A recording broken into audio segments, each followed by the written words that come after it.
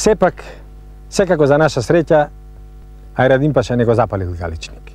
Како што гледате, Галичник постои и дали е село или град, да не говориме, затоа што е, луѓето го знаат дека е Галичник и како таков е познат.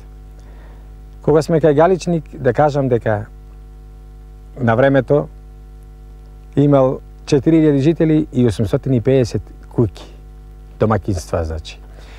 А пак, едно од значајните моменти од оноа што а, се случувало на денот Петровден, биле 20 пак и повеќе свадби во еден ден. А тоа е единствен ден бил кога се правеле свадбите во Галичик, за разлика од другите села, за кои ќе кажеме во друга прилика.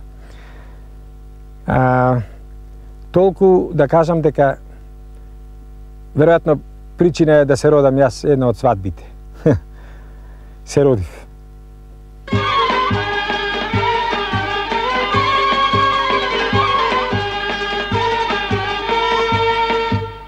Ajde što ta večer,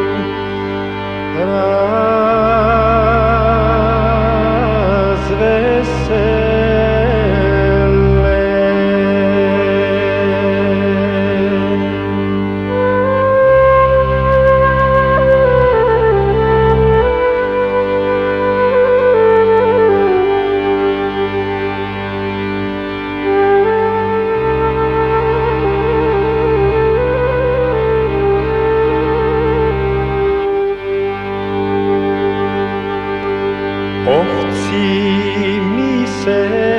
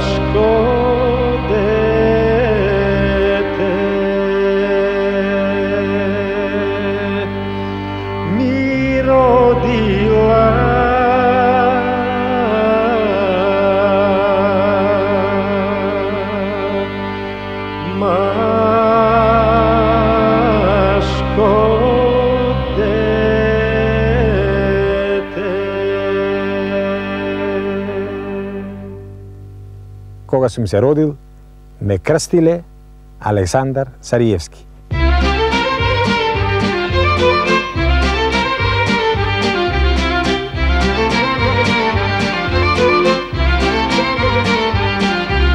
Kini samo me na voda, kini samo me na voda, sobe testoni, šareni сребрени, сонде пестони, шарени, srebreni, и брика сребрени.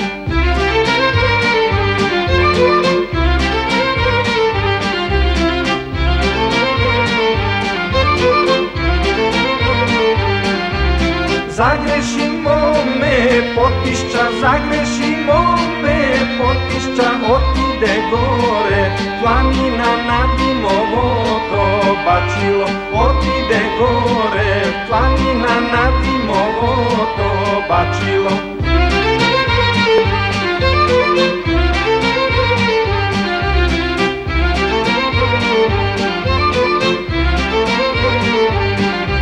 Site ovčari, stana je site ovčari,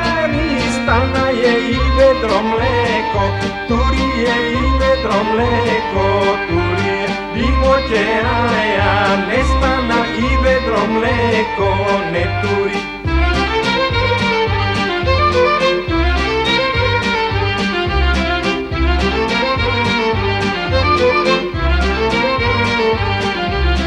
Извикна Димо, ќе ја овчари млади, чобани слезите долу, галичник викните попа и кума, викните попа и кума, моме вода го венчаме.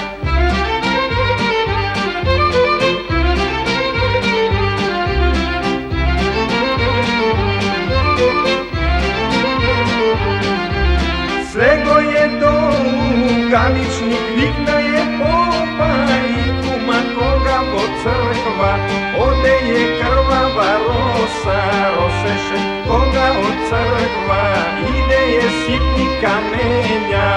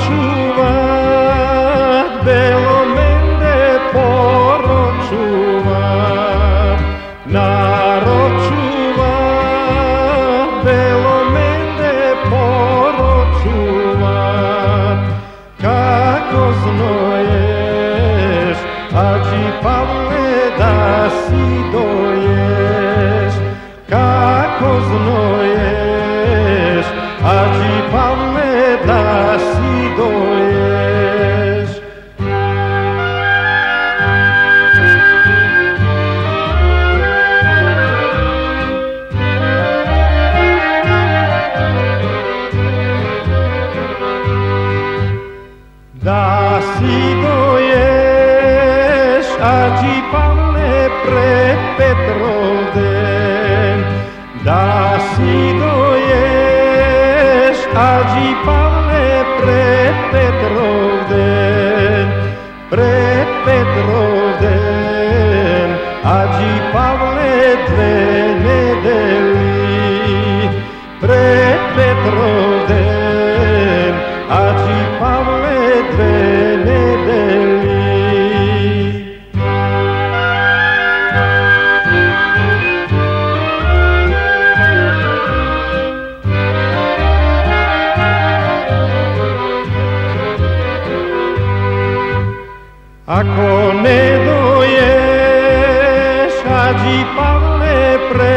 i trof den,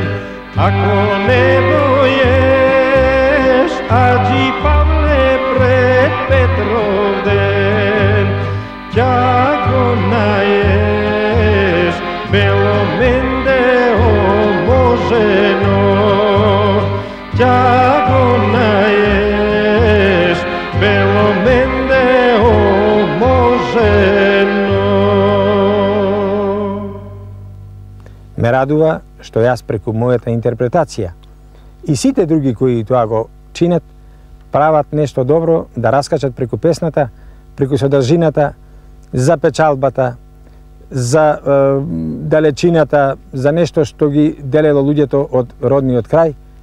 Песната го направи своето и јас на тој начин станав близок на сите вас и на сите оние подалеку кои што ве слушаа и гледаа.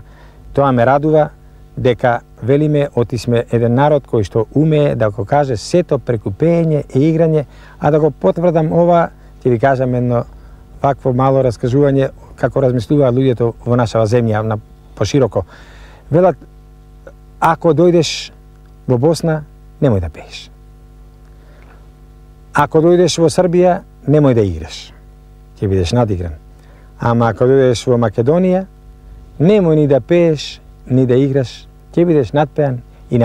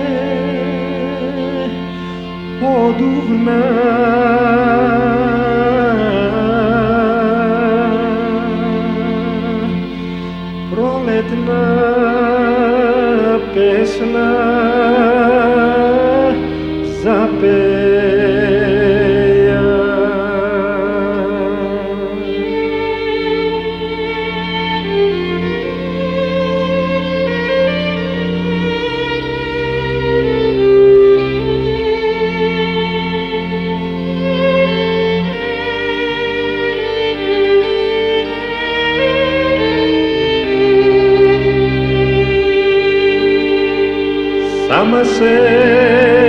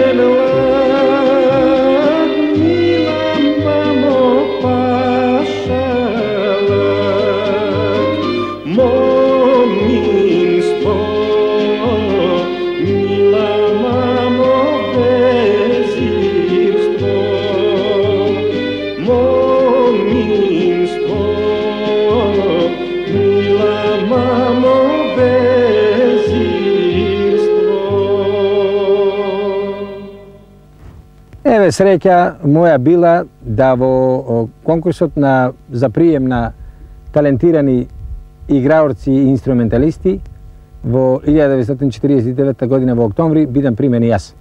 Првата моја желба што ми се оствари е тоа да јас дојдов до вистинскиот тапан, кој што значеше за мене живот, тоа можам да кажам, а да го потврдам дека е вистина, ние со тешкото и со тој тапан изурлите на Мајовци од Дебар го освоивме првото место на светскиот фестивал во Ланголен 1950 година во првата половина на јули.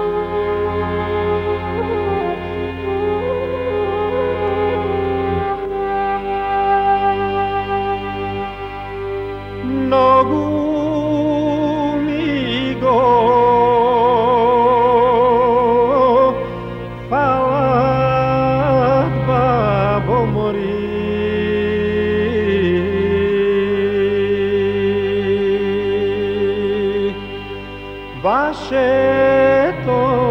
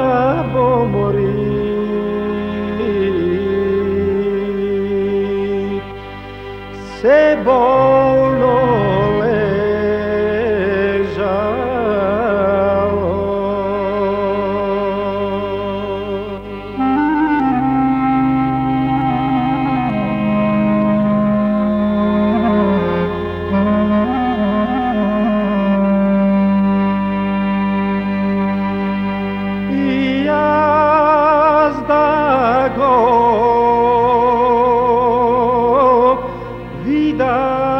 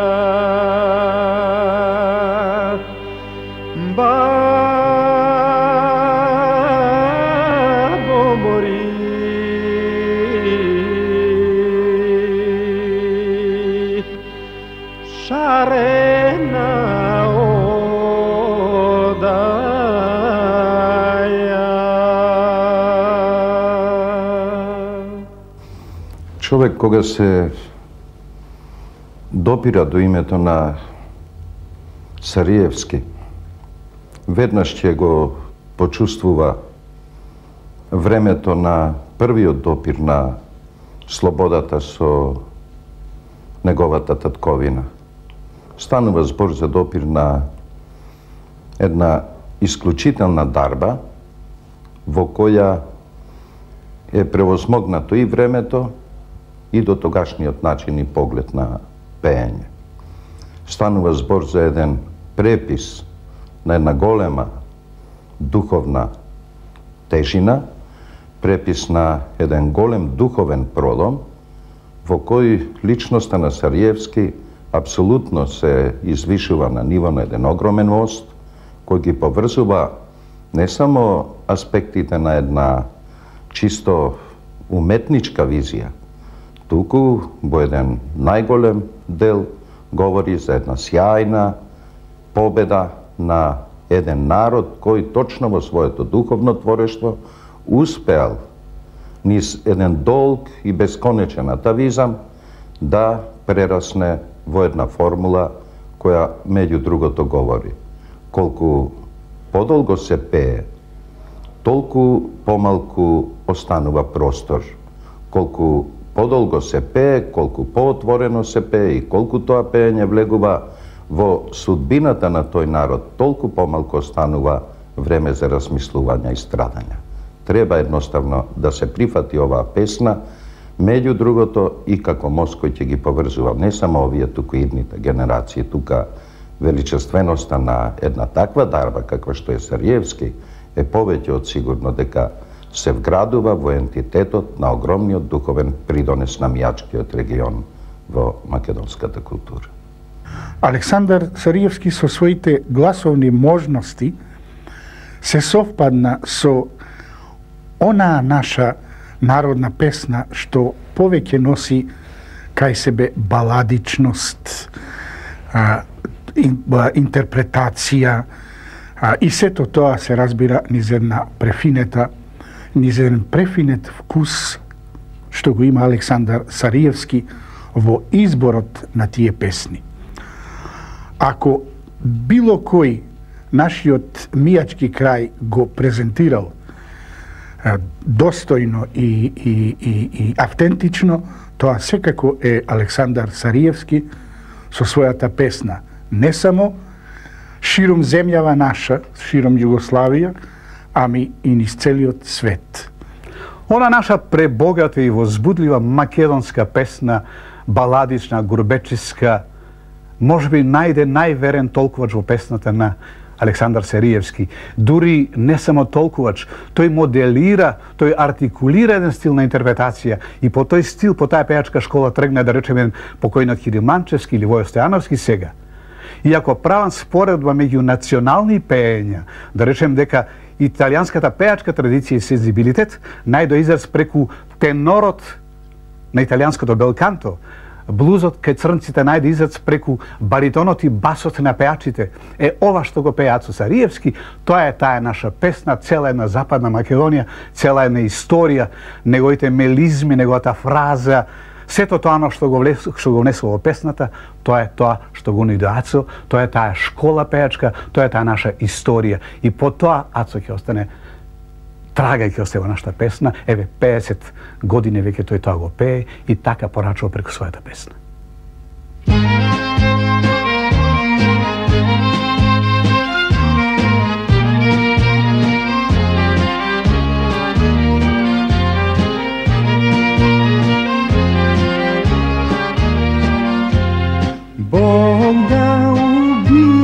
Δε μπάνι, βογά, ουβιετή, δε μπάνι, δε μπάνι, ντόνο γρά, διάνι, δε μπάνι, στο νάσο.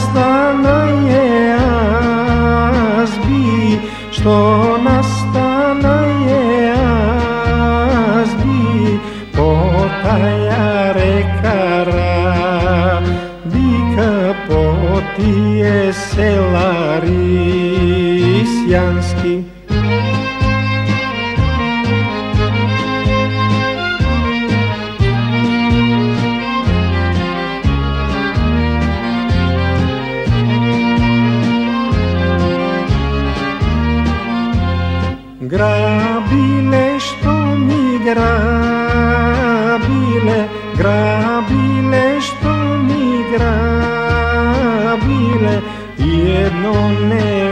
невевче земале, едно невевче земале,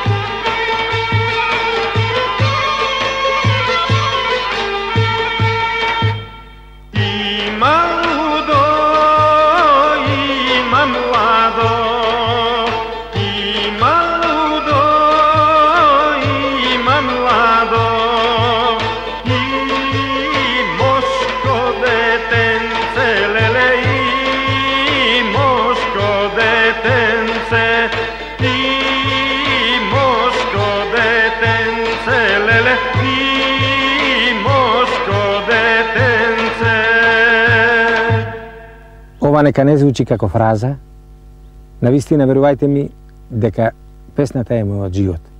Не случајно среќата сакала да бидам повеќе од пет децении со песната, која секој пат сум ја посветувал вам. Никој пат човекот кога пее не може зло да мисли. Јас сега ова го правам да бидам уште поблиску до вас, да ви останам во вашето сеќавање и кога ќе ви се пружи можност да гледате и чуете оно што јас го интерпретирам, секој пат да бидете близко до мене.